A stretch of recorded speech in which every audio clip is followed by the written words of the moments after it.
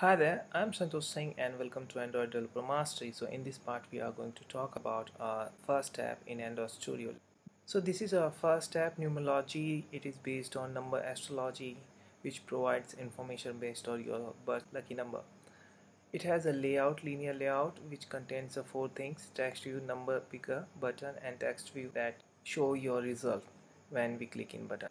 So now we need to implement this app in Android Studio so this is the Android Studio welcome screen. Just click here start a new Android project and name it hit next. Select your minimum SDK then select empty activity that default selected here. Then finish. So now our app is ready to use. Let's move on project view so this is project view which contains two things app module and a Gradle scripts. App module contains three packages. First is Manifest, second is Java and third is RES. So in Manifest we have a single file which we call Android Manifest XML. It provides the basic information about your application such as package name, name, icon, theme, activity, services and uh, receivers. So we talk about later this thing. After that we have a java package that contains three sub package first package part of your project where your main activity xml is situated and other two things a part of testing. First is android testing and other is unit testing. Next thing res res stands for resources. It contains all kind of resource of your application except java classes so it has a drawable layout map values. We talk about later these things but resources combination of XML and a PNG file mostly. We have a Gradle script here which contains a three dot Gradle file. First is build Gradle for project. Second is build Gradle for module. Mostly we work with module build Gradle file because it allows you to manage your project such as first section is Android section where you manage your SDK version and change your minimum SDK target SDK version. And after that we have a dependency section which allows you to add or remove any kind of dependency you don't like or you don't wanna add in your project. And now we have a setting Gradle where you add or remove multiple modules. If you wanna add multiple modules in your project then you need to use setting Gradle and add that module after your basic module. So this is uh, application UI design and uh, you can see in this design all widgets vertically aligned in a center here. So uh, I'm gonna set this design layout first and uh, I need to set linear layout orientation vertical and uh, gravity center.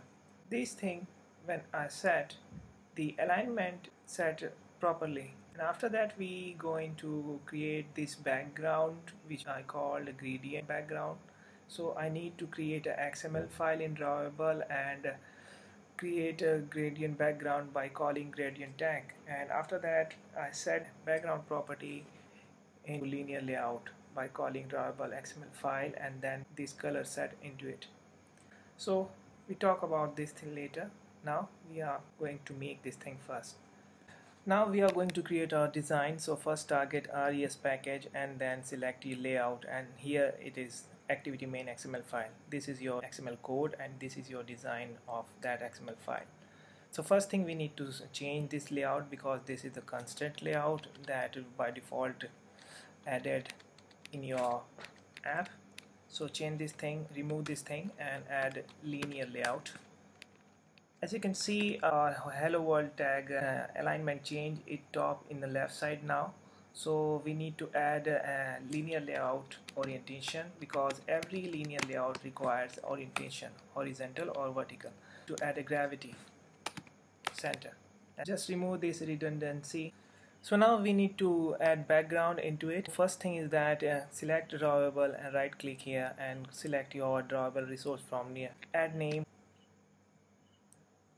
then change your selector tag into shape and add, and add shape rectangle. Then call gradient. As you can see I add this thing.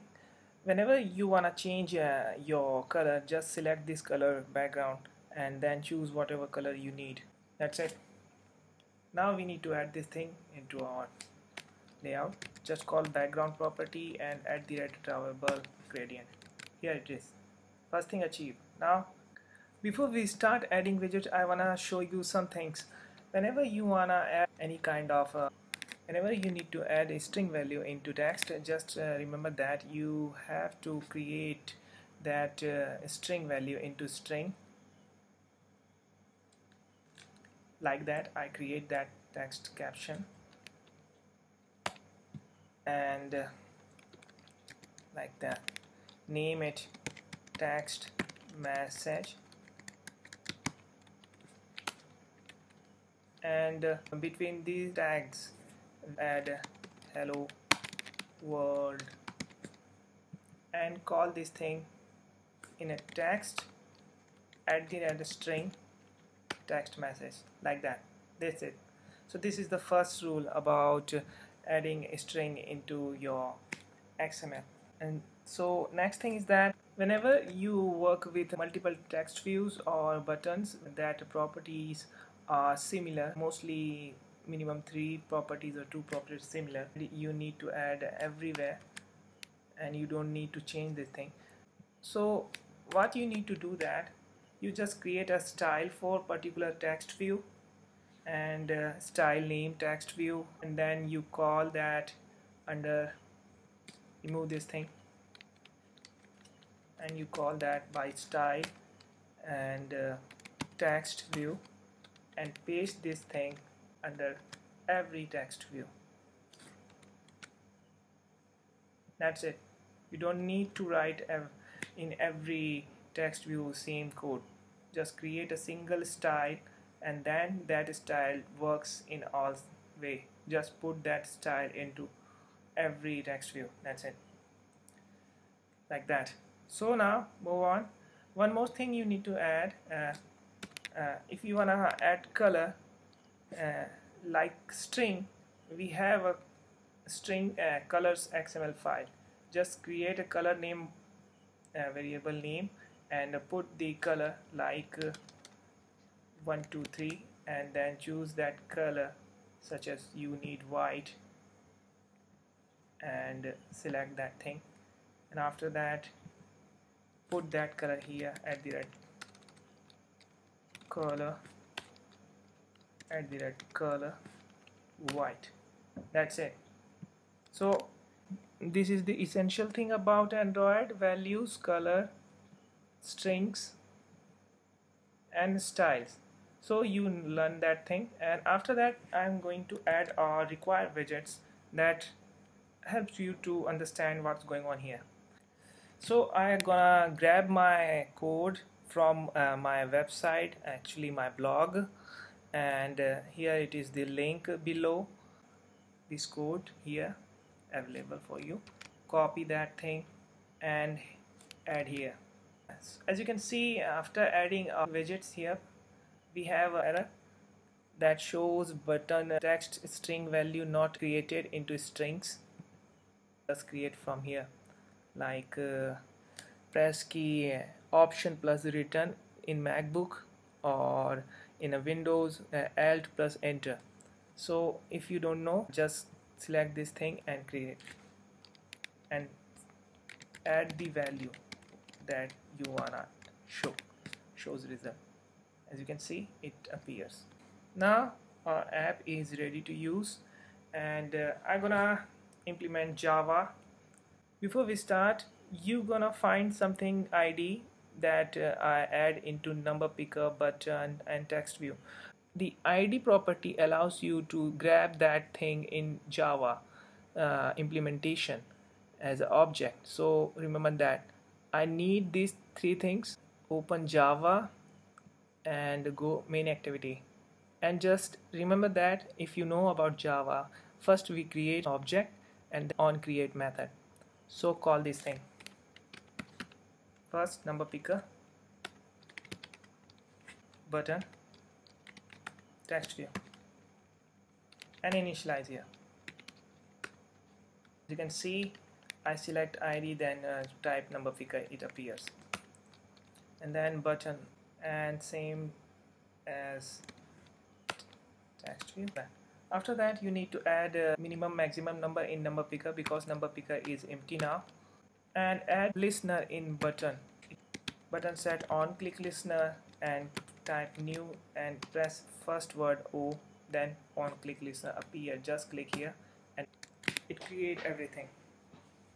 Now you need to implement your method however we don't have any database till now so we need to create our database java first package select that package and then new and select java class. Name it numerology so I just grab database from my blog and uh, here it is the my database with class. Just copy this thing and remove and then paste this thing here like that now we are ready to set. So now we need to call numerology object and set it into text view call get and pass the i value under that thing. Now we are ready to set. But remember that computer counting start with 0 and human counting start with 1 so that's why we need to remember that thing as a programmer. So put minus 1 get value. And now we are all set.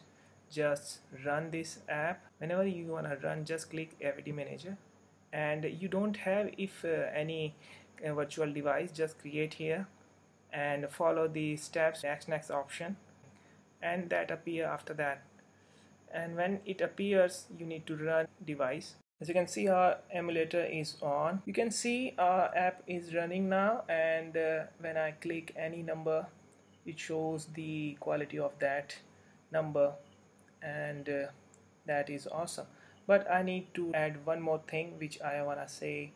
And when I click here it bounce this message. So I wanna add animation part little bit animation. Before we start to create animation we need to create a package under resource which we called anim. And here we need to create a directory and a resource. Select interpolator type anim. Anim is a fixed package. You don't have a right to change this. When you create any kind of name it not appear here. So remember that thing. New and add animation resource file. Name it bounce so just add a fill after true and call another property. Then after that call scale as you can see I add properties in a scale. So what is going on here? Uh, x uh, value is same and y value is changed from 0 to 1 it means x is horizontally aligned left to right and uh, y is aligned vertical top to bottom. So the animation start top to bottom bouncing. So that is the thing. Now add this thing under java class. Call the animation class. Initialize it load animation call this and then target that bounce from r, dot anim dot bounce. That's it. Last thing text view. Start animation and call that object animation. Now we are done. Just run it. Uh, app ready to use. Let's see. Show result pretty cool. So are done. Please like share and subscribe my channel. See you soon. Goodbye